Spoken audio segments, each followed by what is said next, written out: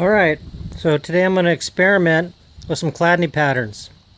And I'm going to focus on this video on the very first mode, which on this uh, soundboard panel, it is 43 Hertz.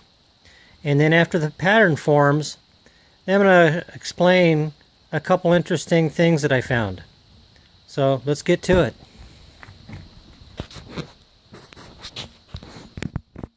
Alright, here we go.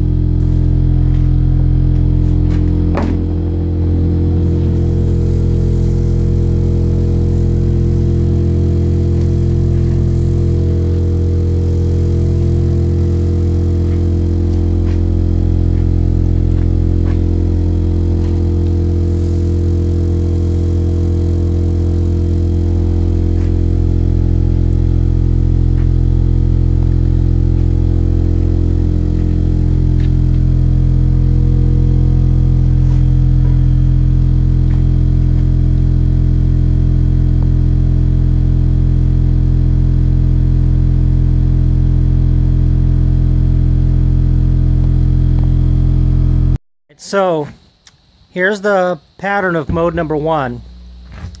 And uh, here's the interesting thing about this is that um, you would think it either be or a square because the soundboard's square or it would be a circle and uh, covering more of the soundboard. But here in this case, the pattern is oval.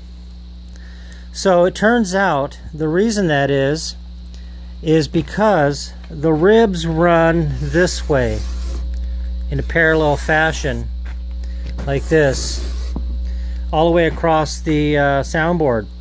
So what that means is that in this part the the full rib is there.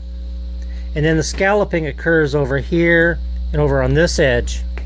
Now over here where the probably would have been a circle but it's um, coming more this way right under here is where the scalloping starts. So this was super thick, you know, the size of the rib.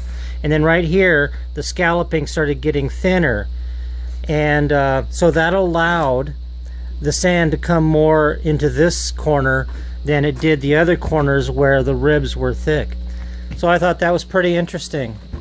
So obviously if I want to get this into form of a circle, which I believe mode 1 usually is a um, more even around the uh, size of the soundboard, then I would probably want to plane this part of the panel to get the sand to come out more this way.